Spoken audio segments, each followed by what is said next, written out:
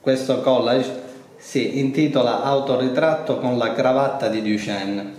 Infatti, come si può vedere, si tratta di un, di un collage, sostanzialmente ho applicato su un pezzo di cartone una fotografia che ho fatto a me stesso, un autoritratto fotografico sfocato, volutamente sfocato, e, e poi ho applicato eh, degli oggetti, per così dire, su questa immagine. Intanto tre chiodi, come se la mia stessa immagine fosse un feticcio da esorcizzare, cioè un, un oggetto, diciamo così, simbolico, rituale da eh, ritualizzare, appunto, da esorcizzare.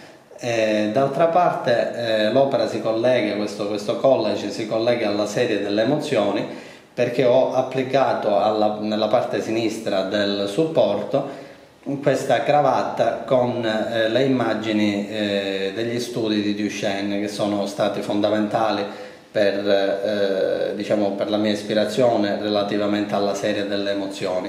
Ho trovato davvero questo oggetto su internet, un oggetto molto strano e quindi l'ho inserito qui eh, a fare appunto da, da contraltare, diciamo così, alla mia immagine.